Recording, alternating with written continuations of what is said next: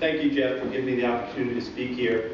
I'm speaking as uh, three people today. Uh, Myself as chairman of the Somerset Hospital Emergency Department, as uh, a partner in Emergency Medical Associates, where we staff uh, 16 hospitals throughout the state, and importantly, as the past president of New Jersey ACEP, American College of Emergency Physicians, where 700 plus of us are members, Um, and we deal with these uh, results every day.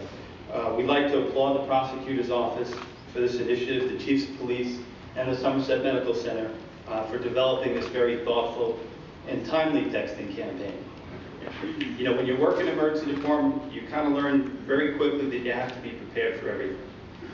In over 20 years of practicing, some things you don't quite get prepared for, and among those is seeing some of the senseless tragedies that come in as a result, uh, result of motor vehicle accidents.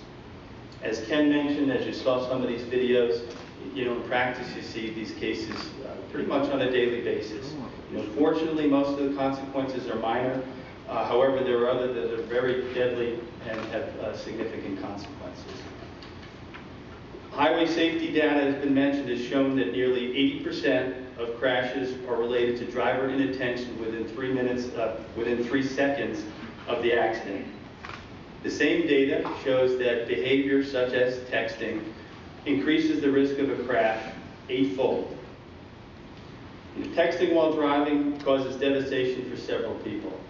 Uh, certainly, the driver who's uh, texting and driving at the same time, but it affects others, as was mentioned, the passenger in the car, other drivers on the road, and innocent bystanders. They all often suffer tragic and sometimes deadly consequences, as uh, this is becoming a terrible trend.